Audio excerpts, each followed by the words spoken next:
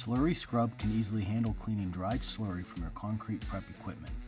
First, cover areas of equipment that can't get wet. Remove loose slurry chunks from machine. Add slurry scrub to a foam sprayer. Thoroughly spray equipment.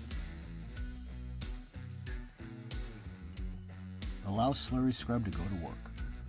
Let it sit for several minutes. Hose the machine and repeat if necessary.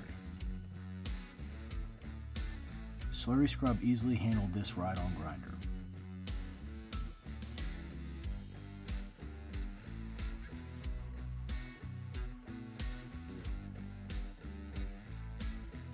Available in 5 gallon pails.